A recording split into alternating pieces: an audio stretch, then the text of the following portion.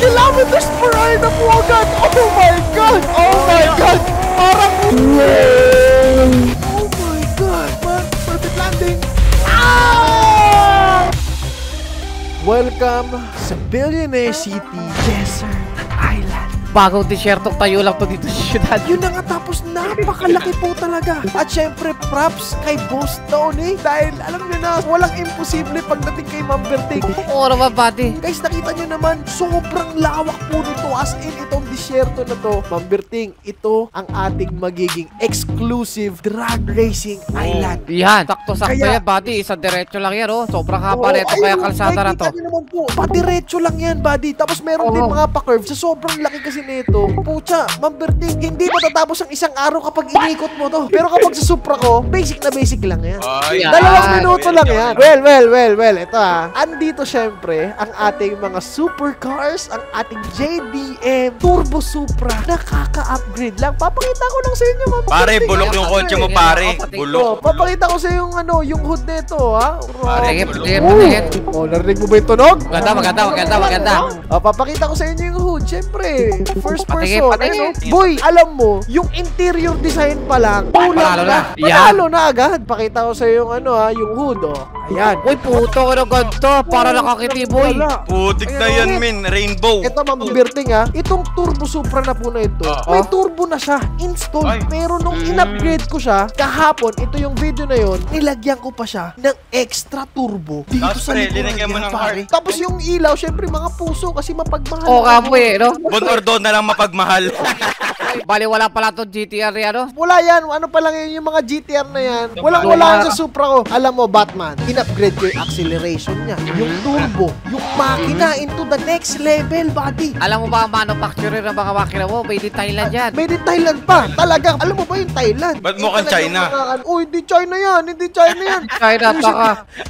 Buddy, nandito tayo para subukan ang bilis ng Oy. ating Turbo Supra. Gusto ko masaksihan kung gaano kabilis yan. Okay, ngayon, pumwesto na kayo doon kasi napakalayo niya. Dapat at least makita nyo kung gaano kabilis to. Sige na, pumwesto na kayo doon. Sige. Oo. oh. Na kami, buddy. Aray ko, aray Ay, ko! guys, sorry, sorry. Tinama, tinama. bullshit ka eh. Tinama, buddy. Diyan ka sa likod ko. Bullshit ka. Aray ko! Talsik siya eh. Oh, sige na, sige na. Ayusin ko lang to. Oh, sige, wala na ako.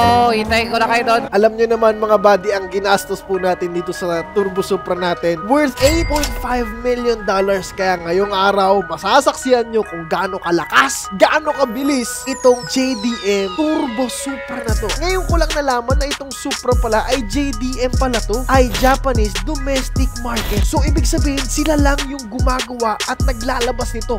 Mala Tokyo Drift, Mamberding! Masyado maingay yung ano, yung tambot ko na ko. Kaya babalik ko na lang to sa sasakyan na to sa pinaglakawa ko. Hindi kita marinig eh. Ready na kayo dyan, ready na kayo dyan. Nandiyan na ba kayo? Nandiyan na ba kayo? Ah, wala pa ako. Layo, buddy. Sobrang layo nito. Sige, lang, walang problema. Pumwesto na kayo dyan, pumwesto na kayo. Wina-warm up ko na, wina-warm up ko na. Ah, dito na ako, buddy, ah. Dito na ako. Ngayon, sabay-sabay nating saksiyan kung gaano kalakas, kabilis, at ang top speed nitong aking Turbo Supra dito sa GTA 5. Ma'am Berting, ready? Ready na ako, buddy. Batman, ready? Ready, ready. Guys, maghanda na kayo. In 3, 2, 1, let's go. Wow! Grab it within 1 second! 3 seconds! 200 kilometers per hour na po! Oh my God! Oh my goodness! 340! What? 375!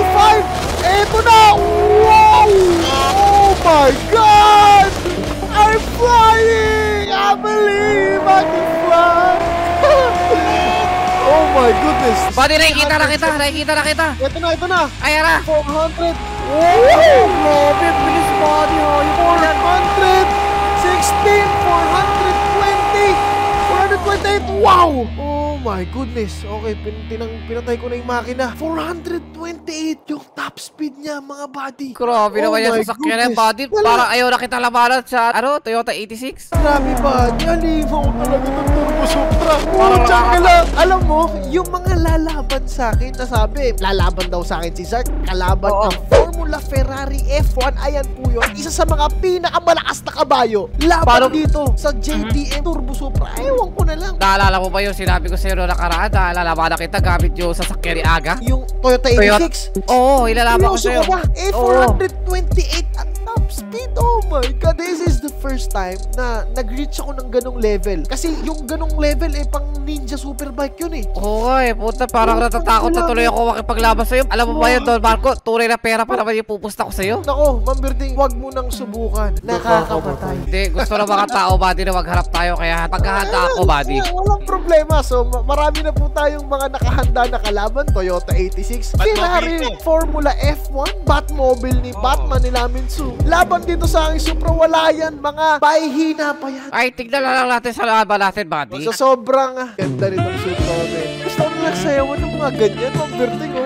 Alam mo yun, gusto kong bumili in real life. Kasi guys, sa totoo lang, rare po talaga siya. Nag-research ako about this, Ma'am Berting. At siya, yung Supra pala, eh talagang in-order pa sa Japan. Ngayon, Ma'am Berting, naniniwala ako sa totoo lang na hindi mga Ferrari, hindi Lamborghini, hindi mga Bugatti makakatalo sa Supra na to. Alam mo kung ano? Ano? JDM lang din. At wala nang iba kundi ang Nissan Skyline GT.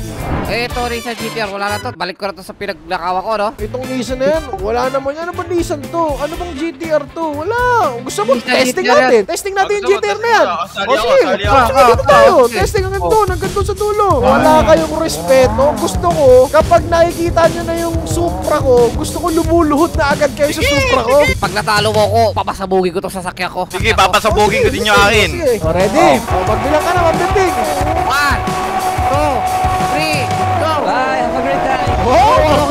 turbo pa yan ha, partida. Mabiting. No, wala. Utak na, wala iwan na iwan ako. Wala yan. Kahit nakaturbo ka pa, tot ka na! Lo, duga. Iwan ako. Grabe naman sasakyan yan. Oh my God! Parang... Oh, bumutot ng matindi oh!